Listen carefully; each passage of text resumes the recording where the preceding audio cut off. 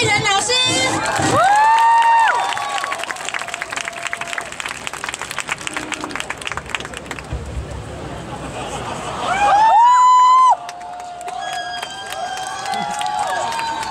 你们是想造反吗？你们是想造反吗？你们是想搞革命吗？你们是想不革命吗？Hey, revolution? Do you want a fucking revolution? You have the revolution. 好，好，跟我一起喊 revolution, revolution, revolution.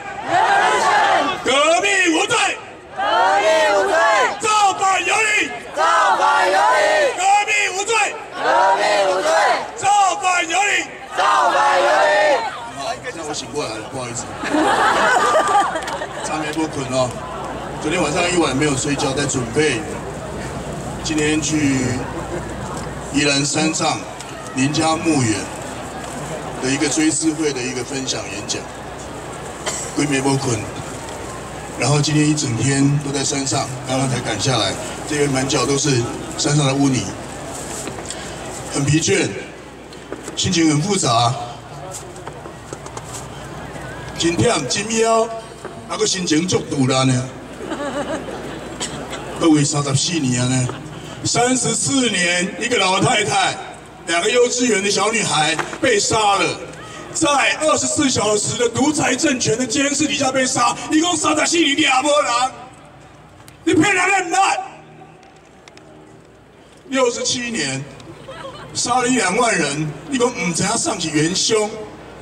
没有加被害人，你付了多少钱人民的税金去为你的罪恶擦屁股，然后你说都找不到加害人，一个都没有被起诉。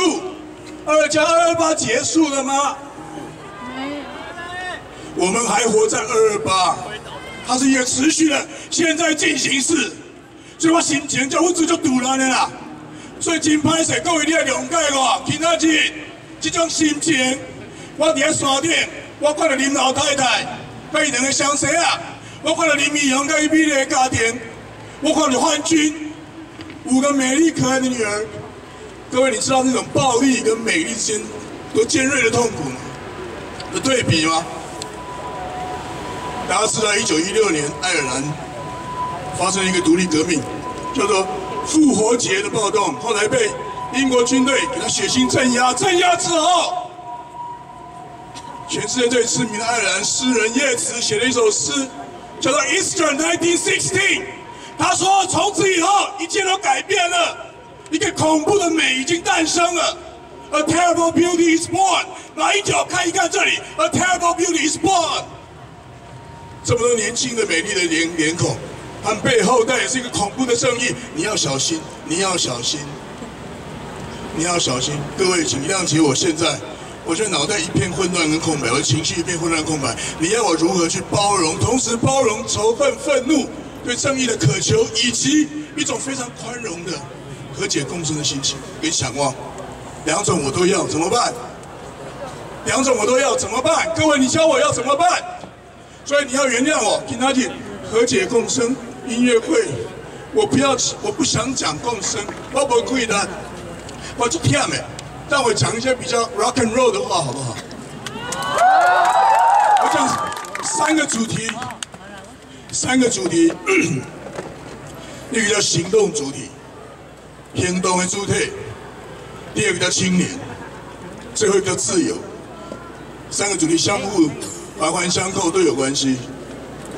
好，第一个主题，三个行动主体，大家咧讲到一半，就真皮简单，然后受害者。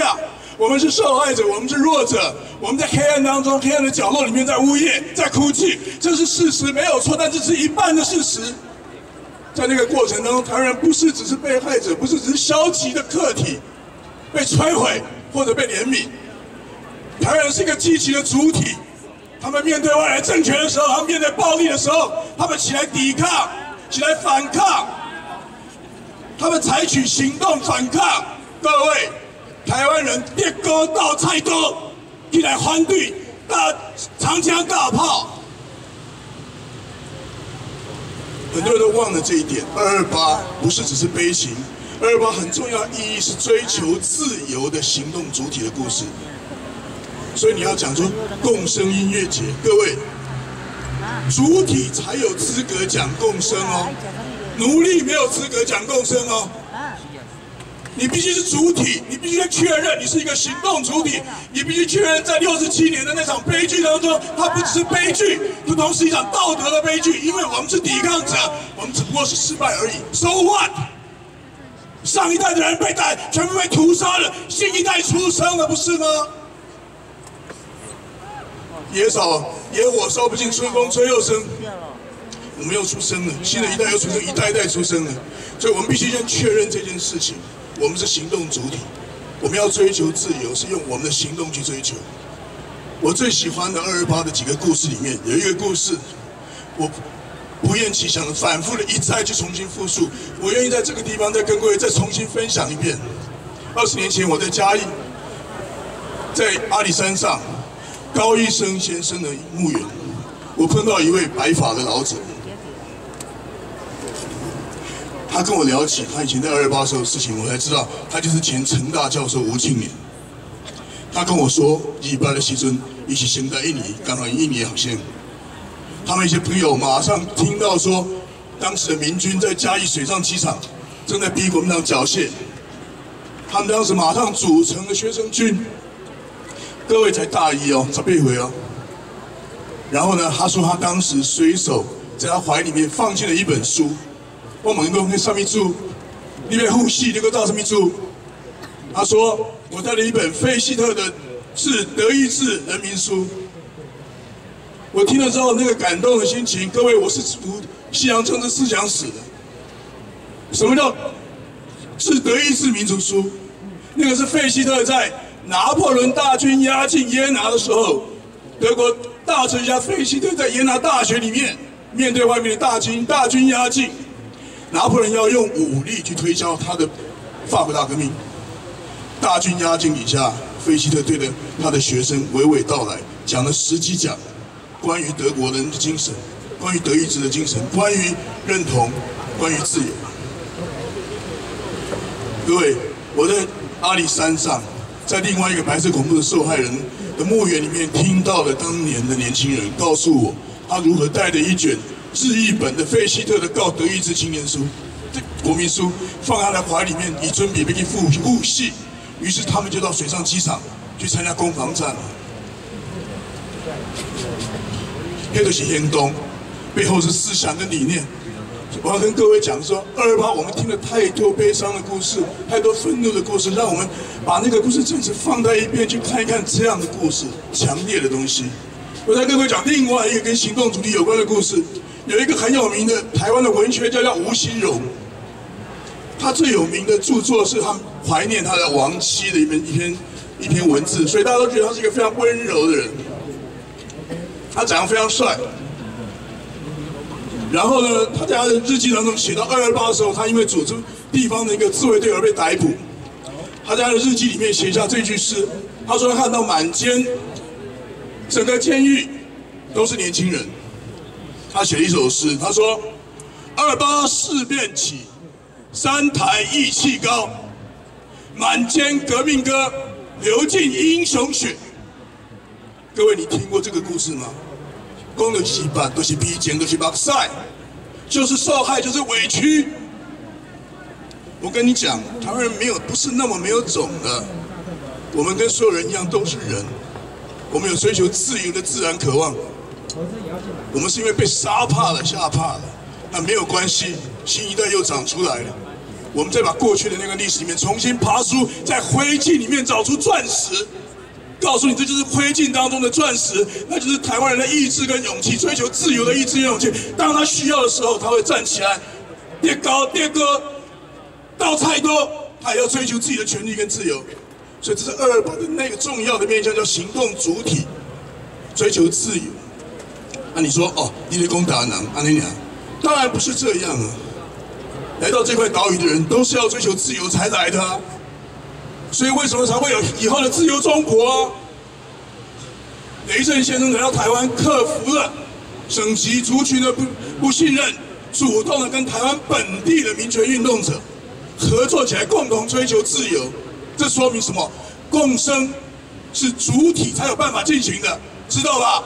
只有主体行动主体才有资格讲共生，只有行动主体才有资格讲和解。只有像雷震、像二二八的青年这样的行动主体，才有资格讲共生跟和解。好，这是共生跟和解，这是行动主体的部分。那第二个就要跟各位讲是青年。二二八，各位，我在这边正式提案，正式提案向人民大会提案，向在场的人民大会提案，把二二八定为台湾的青年节。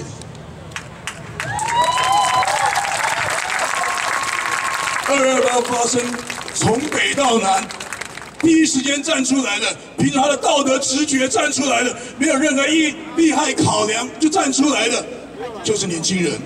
在事件当中，为了抵抗而牺牲生命的，也最多的是年轻人。从北到南，你都不要讲台北的台大师院，你不要讲成大、台南工学院，你不要讲这些大学，各位高中生都站出来了。桃园有桃农，嘉义有嘉农，嘉农不是只会打棒球啊，嘉农是水上部队的重要的干部啊。台中有台中一中，有中商。高雄有什么？雄中，雄中，又小强后用中了。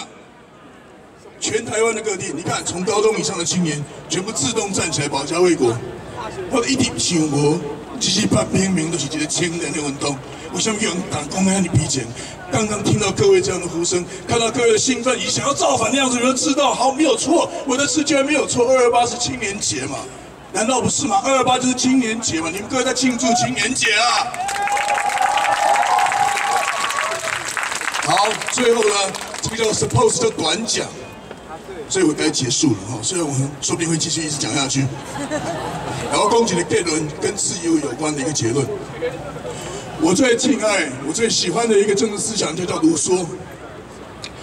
卢梭他在一篇很有名的文章叫做。献给日内瓦共和国，也就是他的祖国。那篇文章里面，他写了一段话说：“我们必须去证明说，我们不仅是自由的，而且是无愧于自由的。”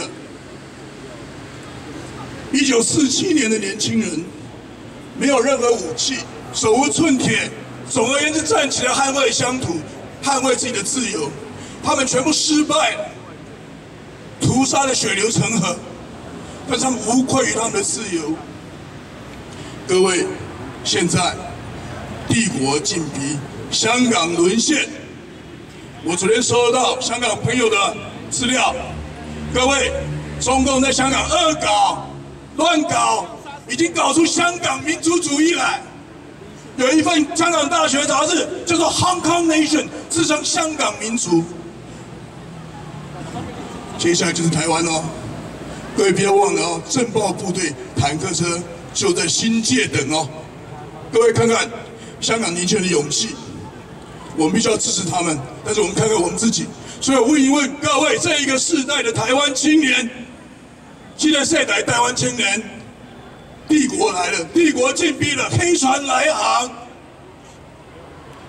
你有决心要站起来捍卫台湾的自由吗？有没有？有有没有？我问你，你值不值得你的自由？你是不是无愧于你的自由？Are you worthy of your freedom? Are you worthy of your freedom? Are you worthy of your freedom? 台湾青年万岁！万岁！万岁！谢谢各位。祝各位青年节愉快！青年节愉快！